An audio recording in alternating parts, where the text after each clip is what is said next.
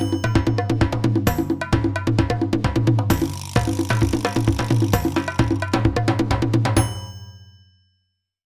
ጋር ያለው ነገር ምንድን ነው? ከዚህ ከደብረ ብርሃን ወደ አዲስ አበባ ተሽከርካሪዎቻችን ሳይቀጡ የሚገቡበት ሁኔታ ስለሌለ ቅጣቱ ደግሞ ከፍተኛ በመሆኑና ከተቀጡም በኋላ ነገ እንዳትመጣ ከመጣ ደግሞ የባሰ እርምጃ እንወስዳለን በሚል ሰንዳፋ ላይ ለተከሰሱት ክስ ምክንያት ነው ወደዛ ለመሄድ ስላልቻል ለሚመለከተው የመንግስት አካል ለዞናችንም ለክልላችንም አልፎም ለፌዴራል ዳይሬክተሮች ለመናገር ሞክረናል። ግን ጉዳዩን እንፈታለን ከማለት ውጭ የፈታልን አካል የለምና በዛ ምክንያት ነው ከአርባ ተሽከርካሪ ያላነሰ በእጃችን ላይ ያለ የክስ ቻርጅ የያዙና ሰነዳቸውን የተፈታባቸው አሉ። ስለዚህ አማራው ተሽከርካሪ ብቻ ተለይቶ ስለሆነ ቅጣት የተወሰደው ይህ ነገር ትክክል አይደለም ብለን እንትን ብለን ነበረ። ትክክል አለመሆኑን ደግሞ መልስ የሰጠ አካል የለም። ተቸገርን።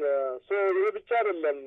ይህም ውጭ ከሰሜን ወሎ ከደቡብ ወሎ የሚመጡ ተጓዦች ከትናንትና ድረስ አዲስ አበባ እንዳይገቡ እየተከለከለ እየታገዱ ነው ያሉትና እነዚህ ህዝቦች ደግሞ ባስም ወርደው በኦሮ ተሽከርካሪ ሲሆን እየገቡ ያሉበት ሁኔታ ነው ያለው። በአጠቃላይ አማራ ወደዛ አካባቢ እንዲገባ ስላልተፈለገ ብቻ የተወሰደ አክሽን ነው ብለን ስላሰብን ትክክል አይደላችሁም ብለን ደግሞ ስንጠይቅ መልስ የሰጠ አካል ባለመኖሩ ያ ተሽከርካሪዎቻችን እየተከሰሱና እየተገናነጡ ሁለተኛ እንዳትመጣ እየተባለ መስራቱን ለምን ያስፈልጋል? መንግስት መፍትሄ መፈለግ አለበት ብለን አስበን ነው። ሁለተኛ ይህ ጉዳይ የተደረገው ሰንዳፋ ላይ ነው።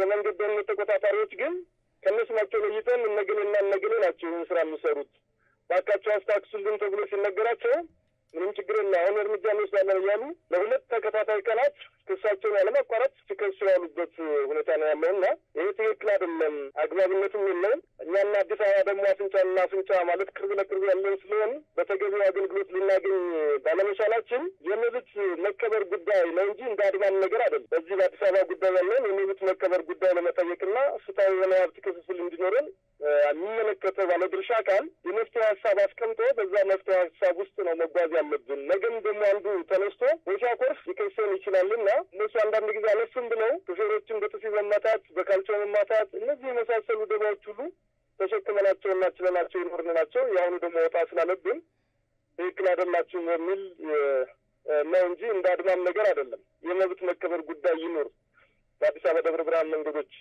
እነዚህ ተፈናቅለው የሚሆን ወይም ደግሞ ተጓዦቹ ከግማሾቹ ከሰንዳፋ ግማሾቹ ካሉልቱ ግማሾቹ ከለገጣፎ ይመለሳሉ። እኛ ተሽከርካሪዎች የሰሜን ሰው ተሳፋሪ ይዛችሁ መጣችኋል ብሎ አንድ እንኳን ሲገኙበት መልሶ አዙሮ ደብረ ብርሃን ገባ እየተባለ ለከፍተኛ ኪሳራ የተዳረገበት ሁኔታ ነው ያለውና እንዲህ እንዲህ አይነት ነገር መንግስት ጆሮ ሰጥቶ መስማት አለበት ብለን እንዲሰማልን ነው ድምጻችን። እኛ በወገናችን ላይ ማደብም አንፈልግም።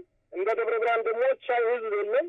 ለከፍተኛ ጊዜ የታገስን የቻል ከነገ ዛሬ ለውጥ ይመጣል ይስተካከላል ብለን ስናስብ የኖርን እንጂ ለሀገራችንም ጥሩ ነገር በማሰብ ዜናችንም መልካም ገጽታ እንዳይበላሽ ብለን ችግሮችን ተሸክመን ኖርን ነበር። አሁን ግን ከአቅም በላይ በመሆኑ ለዛሬው የመብት ጥያቄ ለማድረግ ስራ እንዳቆምን ነው የሚታወቀው። ሰንዳፋ አካባቢ አሽከርካሪዎችን የሚከሱ የትራፊክ ፖሊስ አባላት ምክንያታዊ ከሆኑስ አሽከርካሪዎችን በምን መንገድ ነው እናንተ ያጣራችሁት? አዎ ምክንያታዊ አለመሆናቸውን የምናረጋግጠው አንደኛ ደብረ ብርሃን ላይ የአዲስ የተጀመረ የስምሪት ስታንዳርድ አክብሮ የመሰማራት ሁኔታ አለ።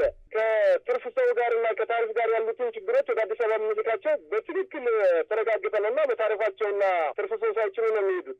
እነሱ ምክንያት የሚያደርጉት ሲጠየቁ ታዘን ነው ነው የሚሉት እዛ ያሉት ተቆጣጣሪ አካሎች ታዘን ነው እና ይህን ድርጊት እባካችሁ በእንጀራችን አትምጡ፣ እንቀጣቸዋለን፣ ነገም ብትመጡ እንደግናቸዋለን ነው እየተባሉ ያሉት። ይህን ደግሞ ተከታትለንም አይተነዋል። እውነትም ነው። የትራፊክ ፖሊስ በተለያየ ምክንያት ሲከስ ቆይቶ ነበር። በትናንትናው እና ከትናንት ወዲያ ባለው በሶስትና በአራት ባሉት ግን ትራፊክ ፖሊስ እርምጃ አልወሰደም። የሰንዳፋ ከተማ አስተዳደር የመንገድ ደህንነት ሰራተኞች ናቸው።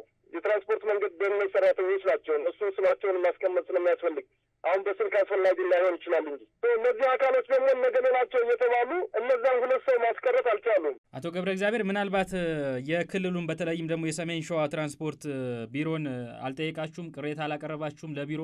የእሱስ ምላሽ ምንድን ነው? አዎ ለእኛ ቢሮ የተደረገብንን ነገር እየተሰበሰብንም በተከታታይ ነግረን እነሱም ሲደውሉ ክልል ሳይቀር ከክልል አልፈን እስከ ፌዴራል ደውለናል። በዚህ አግባብ እንዲፈታ ተጠይቆ ችግር የለውም ብለውም ከስብሰባ እንደወጣን ድርጊቱ እንዳልቆመ መረጃም ስለነበረን ደግመን ነገር ከአቅማችን በላይ ሆነ ማለት ነው ጉዳይ በሚል አልቻሉም፣ ማስተካከል አልቻሉም፣ ማስቆም አልቻሉም። የተቀጣን ደግሞ መስራት አልቻልንም። ትርፋማም አይደለንም። ሌሎችም ተዳርገናል፣ እንግልትም ተዳርገናል። ስነ ልቦናዊ ጫናችን ላይ ተጽዕኖ ፈጥረውብናል።